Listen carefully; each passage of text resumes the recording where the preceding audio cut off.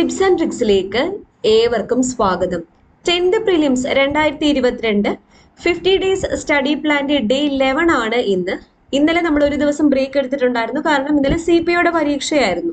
പക്ഷെ ബ്രേക്ക് ആയിട്ട് എടുത്തതല്ല നമ്മളൊരു question paper previous question paper work out ചെയ്തിട്ടുണ്ടായിരുന്നു. അപ്പം ബ്രേക്ക് വരാതെ നമുക്ക് കണ്ടിന്യൂസ് ആയിട്ട് പോകാൻ വേണ്ടിയിട്ടാണ് ഞാൻ ശ്രമിക്കുന്നത്. അപ്പൊ ഈ വീഡിയോയിൽ നമ്മുടെ ടിപ്സ് ആൻഡ് ട്രിക്സ് ടീം ഒരു ബുക്ക് പുറത്തിറക്കിയ കാര്യം പറയുവാണ്. അതായത് ദ അൾട്ടിമേറ്റ് സക്സസ് മന്ത്ര. അഞ്ചു മുതൽ പ്ലസ് ടു വരെയുള്ള സോഷ്യൽ സയൻസ് ടെക്സ്റ്റ് ബുക്കിലെ ചാപ്റ്റർ വൈസ് ആയിട്ടുള്ള എല്ലാ വസ്തുതകളും ന്യൂ പാറ്റേൺ ക്വസ്റ്റ്യൻസിന്റെ രൂപത്തിലാക്കി പുറത്തിറക്കിയ ബുക്കാണ്. ഇതിൽ അഞ്ചു മുതൽ പത്ത് വരെ മലയാളത്തിൽ ന്യൂ പാറ്റേൺ ചോദ്യങ്ങളും എം സി ക്യൂസും അവൈലബിൾ ആണ്. പ്ലസ് വൺ പ്ലസ് ടു ഇംഗ്ലീഷിലും അവൈലബിൾ ആണ്. ഓക്കെ സമഗ്ര ക്വസ്റ്റ്യൻ ബോർഡിലെ പ്രധാനപ്പെട്ട ചോദ്യങ്ങൾ ഉൾപ്പെടെ തയ്യാറാക്കിയ ഒരു പഠന സഹായിയാണ് history geography economics political science മുതലായ എല്ലാ ടോപ്പിക്സും ഇതിനകത്ത് ഇൻക്ലൂഡഡ് ആണ്. ഓക്കെ അപ്പൊ ഇന്ന് എന്തായാലും ഡേ ലെവൻ ആണ്. ഇന്ന് നിങ്ങൾക്ക് പഠിക്കേണ്ട topic current affairs day four അതായത് നാലാമത്തെ ദിവസം നമ്മൾ പഠിച്ച കറണ്ട് അഫയേഴ്സ് ഒന്ന് റിവൈസ് ചെയ്യുക. പിന്നെ ഊർജ മേഖലയിലെയും ഗതാഗത വാർത്താവിനിമയ മേഖലയിലെയും പുരോഗതി. ഇന്ത്യൻ ജോഗ്രഫിയിൽ വരുന്ന ടോപ്പിക്കാണ് ഓക്കെ നമ്മുടെ സിലബസിൽ അടുത്ത മൊഡ്യൂളിൽ ഇന്ത്യൻ ജോഗ്രഫിയിൽ വരുന്ന ടോപ്പിക്കായ ഊർജ മേഖലയിലെയും ഗതാഗത വാർത്താവിനിമയ മേഖലയിലെയും പുരോഗതി. ഇതുമായിട്ട് ബന്ധപ്പെട്ട രണ്ട് S C R T chapters വളരെ പ്രധാനപ്പെട്ട രണ്ട് S C R T chapters ആണ് പഠിക്കാനുള്ളത്. Tenth standard social science second chapter eight India സാമ്പത്തിക ഭൂമിശാസ്ത്രം tenth standard social science second chapter six ആകാശ കണ്ണുകളും അറിവിന്റെ വിശകലനവും ഈ രണ്ട് ചാപ്റ്റേഴ്സിലായിട്ട് ഈ ഒരു ടോപ്പിക് കവർ ചെയ്ത് പോകുന്നുണ്ട്. ഈ ചാപ്റ്റേഴ്സ് മാത്രം പഠിച്ചാൽ പോരാ നിങ്ങൾ എക്സ്ട്രാ പോയിന്റ്സും കൂടെ കിട്ടുവാണെങ്കിൽ ആഡ് ചെയ്ത് പഠിക്കേണ്ടതായിട്ടുണ്ട്. മാത്സിൽ സമയവും ദൂരവും. ഓക്കെ അപ്പൊ ഇത്രയാണ് നിങ്ങൾക്ക് ഇന്ന് പഠിക്കാനുള്ളത്.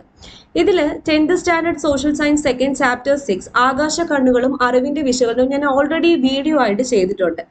ഈ വീഡിയോയുടെ ലിങ്ക് കമ്മ്യൂണിറ്റി ടാബിൽ നിങ്ങൾക്ക് ഇന്ന് പഠിക്കേണ്ട വീഡിയോ എന്ന് പറഞ്ഞിട്ട് പോസ്റ്റ് ചെയ്തേക്കാം. അത് തന്നെ കണ്ട് പഠിച്ചാൽ മതി. പിന്നെ tenth standard social science second chapter eight India സാമ്പത്തിക ഭൂമിശാസ്ത്രം സമഗ്ര ക്വസ്റ്റ്യൻ പോളിലെ ക്വസ്റ്റ്യൻസ് എല്ലാം വർക്കൗട്ട് ചെയ്ത് ഞാനൊരു വീഡിയോ ചെയ്തിട്ടുണ്ട്. അത് നമ്മുടെ ടെലഗ്രാം ചാനലും കൊടുത്തിരിക്കാം. അതുപോലെ തന്നെ കമ്മ്യൂണിറ്റി ടാബിലും പോസ്റ്റ് ചെയ്തിരിക്കാം. അപ്പോൾ ഈ ബുക്കിൽ നിന്നുള്ള നമ്മുടെ ഇന്ന് പഠിക്കാനുള്ള ഈ രണ്ട് ചാപ്റ്റേഴ്സ് ഉണ്ടല്ലോ. അതായത് ചാപ്റ്റർ എയ്റ്റും ചാപ്റ്റർ സിക്സും ഇതിനകത്ത് പ്രധാനപ്പെട്ട ചോദ്യങ്ങൾ നമുക്കൊന്ന് നോക്കാം. ഇന്ന് പഠിക്കാനുള്ള ചാപ്റ്റർ എട്ട് ഇന്ത്യ സാമ്പത്തിക ഭൂമിശാസ്ത്രം. അതിൽ നമ്മുടെ ടെക്സ്റ്റ് ബുക്കിലെ കുറച്ച് ചോദ്യങ്ങൾ പരിചയപ്പെടാം. ഇരുമ്പുരുക്ക് വ്യവസായത്തിന് ആവശ്യമായ അസംസ്കൃത വസ്തുക്കൾ ഏതെല്ലാം? അപ്പൊ നമ്മുടെ പരീക്ഷയ്ക്ക് ഇങ്ങനെ ചോദിക്കാം. ഇരുമ്പുരുക്ക് വ്യവസായത്തിന് ആവശ്യമായ അസംസ്കൃത വസ്തുക്കളിൽ ഉൾപ്പെടാത്തവ ഏതെല്ലാം? ഉൾപ്പെട്ടവ ഏതെല്ലാം? അപ്പൊ ഏതെല്ലാമാണ് അസംസ്കൃത വസ്തുക്കൾ? ഇരുമ്പയിര് കൽക്കരി മാംഗനീസ് ചുണ്ണാമ്പ് കല്ല്. രണ്ടാമത്തെ ചോദ്യം. ചുവടെ നൽകിയിട്ടുള്ള കാർഷിക വിളകളിൽ ഖാരിഫ് വിള ഏത്? ഖാരിഫ് വിള പി എസ് സി എപ്പോഴും ചോദിക്കുന്നതാണ്. ഗോതമ്പ് പച്ചക്കറികൾ നെല്ല് കടുക്. ഏതാണ്? നെല്ലാണ് ഖാരിഫ് വിളയ്ക്ക് ഉദാഹരണം. ഇന്ത്യയിലെ ധാതുക്കളെ സംബന്ധിച്ച ചില വിവരങ്ങളാണ് ചുവടെ നൽകിയിട്ടുള്ളത്. അനുയോജ്യമായ രീതിയിൽ ക്രമീകരിച്ചെടുക്കുക. അപ്പൊ ധാതു അതിന്റെ ഉപയോഗം പ്രധാന ഉൽപാദന സംസ്ഥാനങ്ങൾ. ധാതുവിന്റെ കീഴിൽ സ്വർണം വെള്ളി ബോക്സൈറ്റ് അഭ്രം. അപ്പൊ എങ്ങനെയാണ് കറക്റ്റ് ആയിട്ട് ചേരുംപടി ചേർക്കുന്നത് എന്ന് നോക്കാം. സ്വർണം ആഭരണ നിർമ്മാണത്തിന് ഉപയോഗിക്കുന്നു. കർണാടക സംസ്ഥാനമാണ് പ്രധാന ഉൽപാദന സംസ്ഥാനം. വെള്ളി ഫോട്ടോഗ്രഫിയിൽ ഉപയോഗിക്കുന്നു. രാജസ്ഥാനാണ് പ്രധാനപ്പെട്ട ഉൽപാദന സംസ്ഥാനം. ബോക്സൈറ്റ് വിമാനം ജാർഖണ്ഡ്. അഭ്രം ഇൻസുലേറ്റർ ആന്ധ്രാപ്രദേശ്. ഓക്കെ അടുത്ത ചോദ്യം. തമിഴ്നാട്ടിൽ ആണവോർജ നിലയങ്ങൾ സ്ഥിതി ചെയ്യുന്ന സ്ഥലങ്ങൾ ഏവ? ഈ ചോദ്യം പി എസ് ഒരുപാട് തവണ റിപ്പീറ്റ് ചെയ്തിട്ടുള്ളതാണ്. കൽപ്പാക്കവും കൂടകുളവും. ഇവിടെ രണ്ടിടത്തും എന്തുണ്ട്? ആണവ നിലയങ്ങൾ സ്ഥിതി ചെയ്യുന്നുണ്ട്.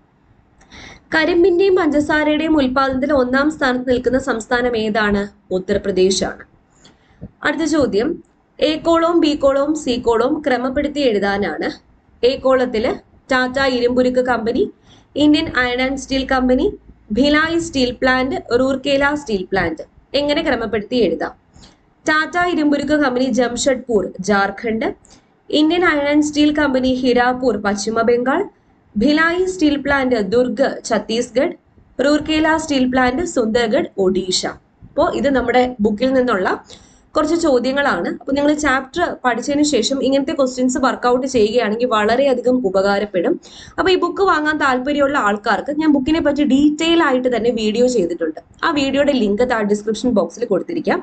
അതുപോലെ ഞങ്ങളുടെ ബുക്ക് നിങ്ങൾക്ക് വാങ്ങാൻ താല്പര്യം ഉണ്ടെങ്കിൽ താഴെ ഒരു വാട്സാപ്പ് നമ്പർ കൊടുത്തേക്കാം. അതിൽ മെസ്സേജ് അയക്കുകയാണെങ്കിൽ ബുക്ക് നിങ്ങൾക്ക് കൊറിയർ ആയിട്ടോ പോസ്റ്റലായിട്ടോ അയച്ചു തരുന്നതാണ്. ഓക്കെ അപ്പോൾ പ്രയോജനപ്പെടുത്തുക. വീണ്ടും കാണാം. താങ്ക്